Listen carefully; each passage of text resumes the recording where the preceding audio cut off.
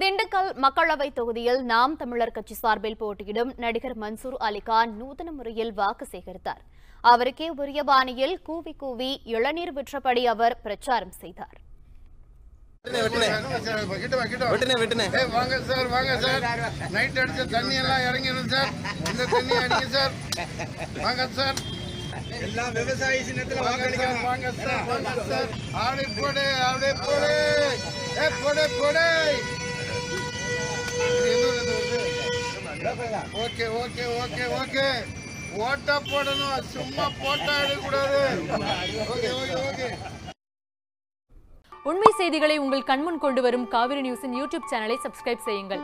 நொடிக்கு நொடி நாட்டு நடப்புகளை தெரிந்து கொள்ள Kaveri news dot TV Facebook Instagram Twitter போன்ற சமூக வலைதள பக்கங்களோடு எப்போதும் இணைந்திருங்கள்.